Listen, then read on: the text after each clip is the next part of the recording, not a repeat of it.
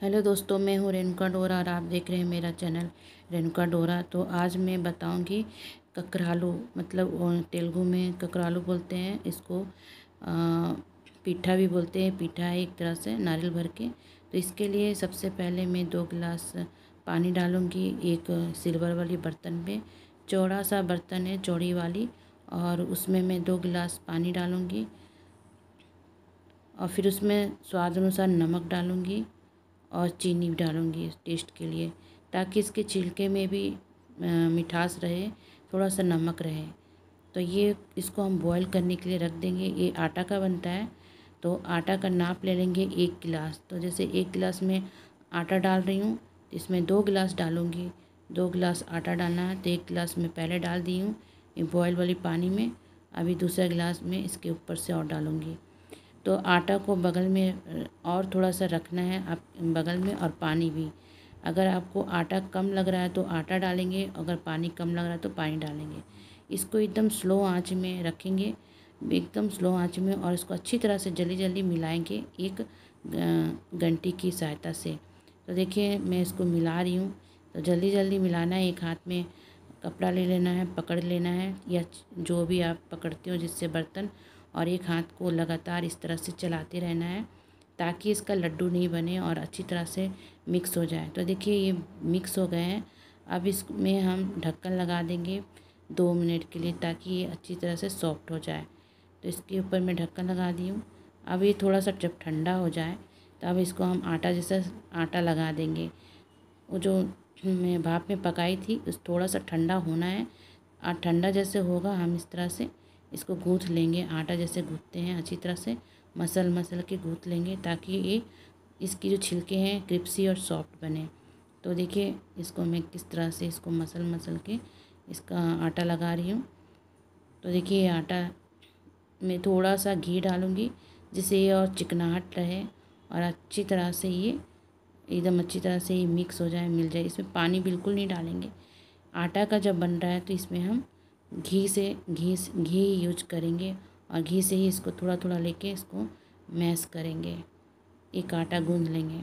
तो देखिए किस तरह से मैं इसको गूंथ रही हूँ ताकि एकदम सॉफ्ट और एकदम अच्छा सा कुरकुरे बने।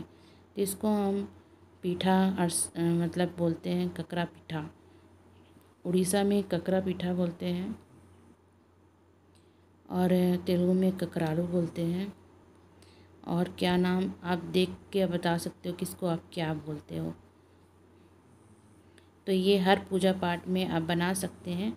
अभी जैसे मागर्षि लक्ष मतलब गुरुवार आ रहा है मागर्षि गुरुवार तो उसमें ये बनता है ये वाला, ये गणेश पूजा में भी बनता है। बहुत सारी पूजा में आप इसको प्रसाद के तौर पे बना सकते हैं घर पे। तो देखिए, मैं यहाँ पे थोड़ा सा घी डाल रही हूँ, क्योंकि घी ले लेके थोड़ा सा हम हाथ में इसका हम इसको हम फिलिंग भरेंगे। तो देखिए थोड़ा सा घी ले ली हूँ हथेली में, बीच में, और इस, इसे हम राउंड शेप कर रहे हैं गोल गोल कर रहे हैं आटा को। और इस तरह जैसे हम भरते हैं फिलिंग भरते हैं ना, जैसे आलू परोठा, जो भी पराठा बनाते हैं, इस तरह से हमको करना बीच की, जो बीच में थोड़ा सा मोटी रहनी चाहिए और साइड साइड पतली।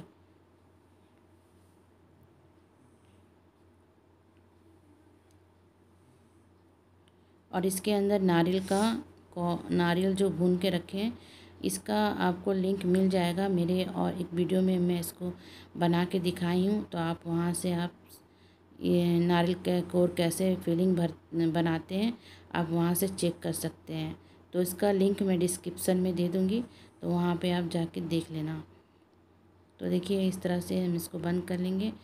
अगर आप नहीं देख पाओगे तो मैं बता देती हूँ, नारियल को कोर लेना है अच्छी तरह से। कोरने वाला आपके पास होगा तो उससे कोर लीजिए, नहीं तो मिक्सी में दरदरा पीस लीजिए और कढ़ाई में आप नारियल को डाल दीजिए। कुछ नहीं डालना, तेल कुछ नहीं डालना, सिर्फ़ नारियल डालना है, नारियल का कोर और उसमें आप गुड़ डालेंगे जितना आपको मीठा चाहिए। बस उसको लगातार फ्राई करते रहना है, मिक्स करते रहना जब तक गुड़ गले नहीं और जब गुड़ गल जाए और अच्छी तरह से मिक्स हो जाए तब इसमें इलायची पाउडर डालेंगे और आपका बन के रेडी। तो देखिए, तेल गर्म हो चुका है, रिफ़ाइन ऑयल है। आप चाहे तो घी में बना सकते हैं। तो ये सॉरी, ये घी से बना रही हूँ, पूजा का है तो घी से बना रही हूँ। आप रिफ़ाइन ऑयल से यूज़ कर सकते हो। तो देखिए, मैं घी से बना रही हूँ तो इसलिए ज़्यादा से घी ले ली हूँ, जब गर्म हो गया तो इसको हम स्लो आँच कर लिए हैं। जब आँच स्लो करने के बाद हम, इसे हम स्लोली स्लोली फ्राई करेंगे। तो ज़्यादा तेज़ आँच नहीं रखनी है, एकदम स्लो आँच रखनी है, ताकि इसकी क्रिप्सी बने रहें और अच्छी तरह से ये फ्राई हो जाए। तो देखिए, तेल लेके ऊपर ऊपर हम डाल रहे हैं ताकि ये फटे ना। अगर ये फट जाएगा तो इसमें जो नारियल का अंदर का कोर है, निकल जाने से तेल ख़राब हो सकती है। तो हमें ध्यान देना है कि इसे फटने नहीं देना है। आप तुरंत बनाओ और तुरंत तलो। अगर आप इसको बना बना के रखोगे तो ये सूख के फटने जैसा हो जाएगा। इसलिए जब भी आप बनाते हो तो तुरंत आप घी या तेल गरम कीजिए और फटाफट बना बना के इसको तलिए। तो ये तुरंत तुरंत बनने वाला चीज़ इसको रखना नहीं है। अगर रखोगे तो फट जाएगा ये, फिर अच्छा नहीं बनेगा। तो देखिए देखिए कहीं कहीं क्रेक हो रहा है, थोड़ा थोड़ा फट रहा है तो हमको सावधानी से इसको तलना है, ताकि इसके नारियल बाहर ना निकल पाए। अब इसको हम थोड़ा सा पलट देंगे। सारे जितने हैं सबको थोड़ा पलट देंगे। तो दोनों तरफ़ से क्रिप्सी और लाल होनी चाहिए। तो दोस्तों, अगर वीडियो अच्छा लगा तो लाइक, कमेंट और शेयर करना। और चैनल पर नहीं हो तो बेल आइकन के साथ प्रेस करना ताकि न्यू न्यू नोटिफिकेशन मिलते रहें। जो भी मैं वीडियो डालूँ, आप तक पहुँच जाए। तो देखिए दोस्तों, इसी तरह से अलट पलट करके हम इसको फ्राई करेंगे। अब ये बन के रेडी है।